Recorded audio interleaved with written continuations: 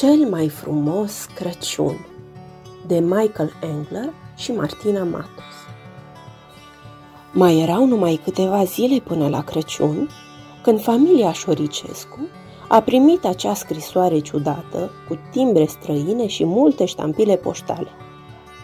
După ce părinții au citit-o, s-au albit la față și n-au mai scos o vorbă.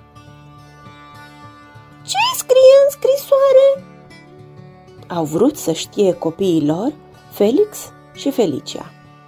Scrisoarea era de la mătușa Iosefina. Ea scria că vrea să-și viziteze de Crăciun familia. Mătușa Iosefina plecase cu mulți ani în urmă în America și ajunsese acolo o artistă vestită. De atunci însă, nimeni nu o mai văzuse. Aflau numai din când în când din ziarele șoricești despre marile ei succese în cele mai strălucite săli de spectacol din lume. Era renumită, era apreciată, dar nu avea pe nimeni apropiat. Deseori, așa se întâmplă cu șoarecii cei mai renumiți și mai apreciați. Oh, ce bine! O să avem o sărbătoare de Crăciun adevărată!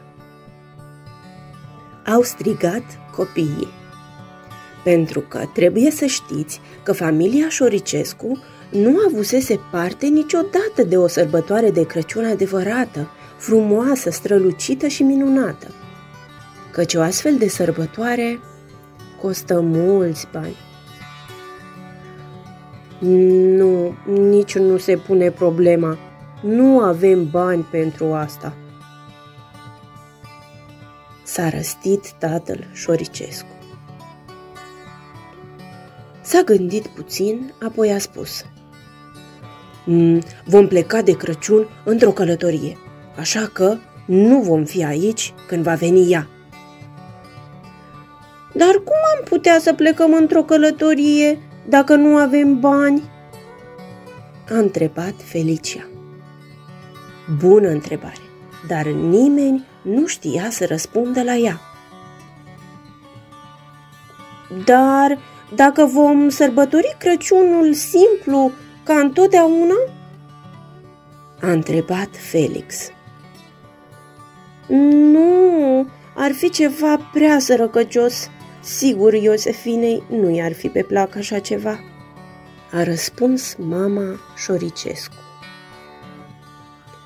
Seara, când s-au dus să se culce, Felicia nu-și putea lua gândul de la mătușa Iosefina. Ar trebui... Am putea... O, de-am avea cum... Tot șoptea ea. Ce tot spui? A întrebat Felix somnoros din celălalt capăt al camerei. Aș vrea să putem să dăm și noi o mână de ajutor ca să pregătim o sărbătoare frumoasă de Crăciun. A spus Felicia. Dar știi că nu avem bani. A mormăit Felix și s-a întors pe partea cealaltă. Ei reușiră să economisească niște bănuți, dar își dădeau seama că nu vor fi în niciun caz îndeajuns pentru o sărbătoare mare și frumoasă. O sărbătoare așa cum aveau alții în fiecare an. Chiar înainte de a adormi, Felicia a spus Am putea să-i rugăm pe alții să ne ajute, doar este vorba de sărbătoarea de Crăciun. Pe alții? A murmurat Felix, pe jumătate a dormit și s-a gândit câtă dreptate avea sora lui. A doua zi, dis de dimineață, Felicia și Felix au pornit la drum. Afară era un strat gros de zăpadă, era frig și cerul înnorat acoperea orașul ca o pătură cenușie grea. Cei doi și-au încheiat până la gât hainele groase de iarnă și-au tras căciulițele până spre ochi și fularele până la botișor și și-au băgat mâinile adânc în buzunoare. Doar năsucurile lor tremurau neajutorate în bătaia vântului înghețat. Mai întâi au mers la florăria domnului Șoricioiu. L-au rugat să le dea câteva crenguțe de brad, nu multe, numai câteva, ca să poată împodobi cât de cât casa cu ceva verde. Domnul Șoricioiu a dat din cap morocănos. N-am nimic de dat degeaba, a spus el. Mm, vrem să înfrumusețăm nițel casa pentru când va veni la noi mătușa Iosefina, a spus Felix.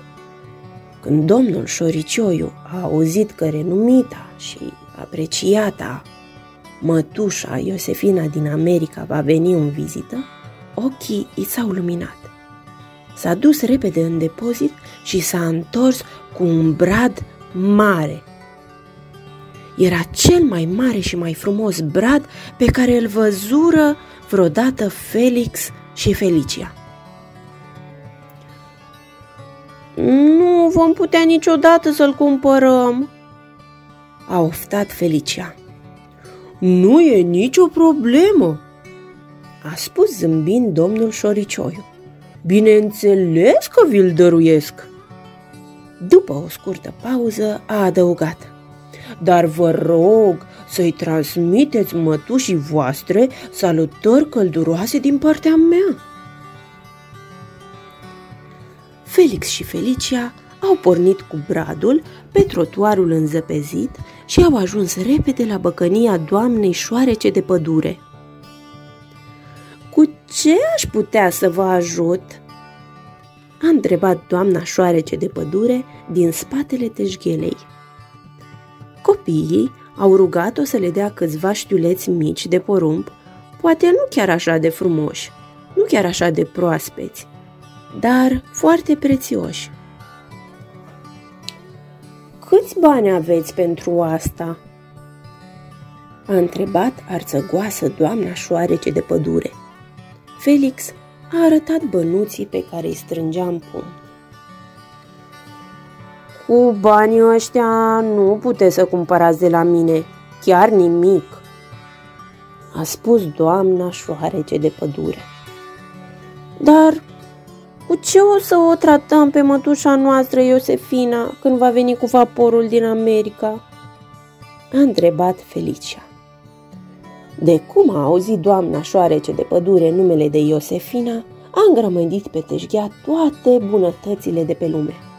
Știuleți de porumb, nuci, mere, stafide, biscuiți și cașcaval gustos. Când a văzut că cei mici se uită la ea uimiți, a spus Desigur, le primiți în dar, dar să aveți grijă să o salutați călduros pe mătușa voastră din partea mea. După aceea, Felix și Felicia au intrat în prăvălia domnului șoarece săritor. Era evident că știrea despre vizita mătușii Iosefina ajunsese din gură în gură până la el, căci îi aștepta pe copii cu un munte de globuri pentru bradul de Crăciun, beteală, îngeri din ceramică și lumânări în toate culorile curcubeului. Cadou, cadou, cadou! A strigat el de cum i-a văzut pe copii. Dar sunt foarte multe, a spus Felicia. Nu avem cum să le ducem pe toate până acasă, a adăugat Felix. Atunci, domnul șoarece de săritor le-a mai dat repede și o sanie mare. Tot cadou, a zâmbit el. Dar să nu uitați să o salutați pe mătușa Iosefina din partea mea. Copiii, fericiți, au promis că vor face asta și au pornit înapoi spre casă. Mama Șoricescu s-a bucurat foarte mult de toate darurile primite. Tata Șoricescu a bombănit la început că el nu vrea să primească niciun fel de daruri. Niciodată și în niciun fel de situație. Totuși, când a văzut cum se luminaseră ochii copiilor și ai soției sale, s-a liniștit. Împreună au împodobit bradul și camera. Mama Șoricescu a căutat cele mai bune rețete ale ei ca să pregătească o mâncare gustoasă de Crăciun. Copiii au făcut ordine, iar tata Șoricescu a făcut curat un lucru pe care nu-l mai făcuse niciodată până atunci. Curând, micuța lor locuință strălucea în cea mai minunată atmosferă festivă de Crăciun. Totul era pregătit pentru mătușa Iosefina. Va fi un Crăciun perfect pentru ea, a spus mulțumită mama Șoricescu. În dimineața de Crăciun, familia Șoricescu a pornit spre port. Au fost surprinși să vadă că se adunase tot cartierul. Era acolo doamna șoarece de pădure, la fel și domnul șoarece săritor, iar în spatele lor l-au descoperit pe domnul Șoricioiu. Toți o așteptau pe renumita și apreciata mătușă Iosefina din America. Vaporul acostase deja la chei, era bine amarat și în port emoția era tot mai mare, căci primii pasageri începuseră să apară. Au debarcat fluierând veseli și au salutat cu căldură familiile, bucuroși că au din nou pământ ferm sub picioare. Toți o așteptau, încordați, pe mătușa Iosefina. În sfârșit, a coborât și ultimul pasager. Dar nu era mătușa Iosefina. După ce până și șrobolanii au părăsit vaporul, celor ce așteptau le-a devenit clar că mătușa Iosefina nu mai vine. Privirile vecinilor, care străluciseră înainte de bucurie, au început să se întunece. Se uitau urât la cei din familia Șoricescu. Oare fusese totul o minciună? Nu existase nicio scrisoare de la mătușa Iosefina? În port s-a așternut liniștea. Liniștea atârna mai greu decât norii groși de zăpadă, din care a început să ningă încetișor. Domnul Șoricescu tropăia nervos și asta nu din cauza frigului. Doamna Șoricescu se lipise strâns de soțul ei. De ce nu facem o petrecere la noi?" a întrebat în șoaptă Felicia. Da!" a strigat Felix. Avem o cameră frumos împodobită, mâncare bună și un brad de Crăciun minunat. Veniți cu toții la noi! Un șoricel mititel s-a desprins șovăind din grupul vecinilor. Apoi, un al doilea a făcut un prim pas, după care au venit toți.